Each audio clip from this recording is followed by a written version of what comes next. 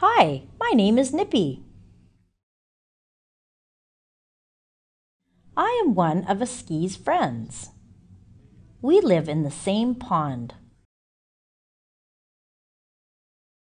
I live with my mum, dad, brothers, and sisters in a beaver lodge at one end of the pond.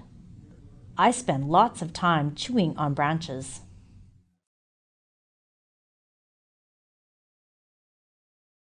My family built and care for a large dam at one end of the pond.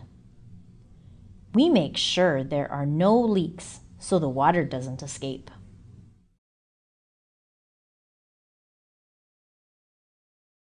I am a four legged being, but I am able to walk on two legs because of my big tail. My job is to take care of the pond.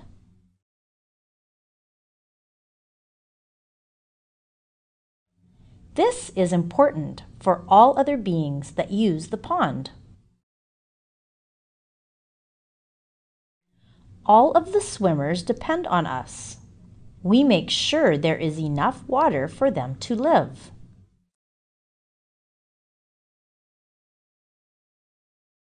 Sometimes we sit and listen to Aski's grandparents tell us stories about Turtle Island.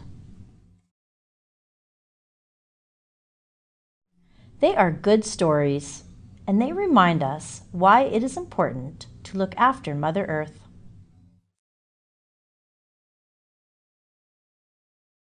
They help us learn how to live together in harmony and to look after each other.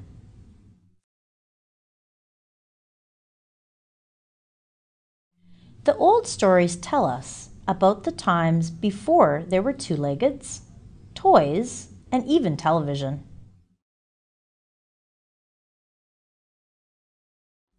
These stories were not written down, they were told to others. Now it is our turn to tell them to you.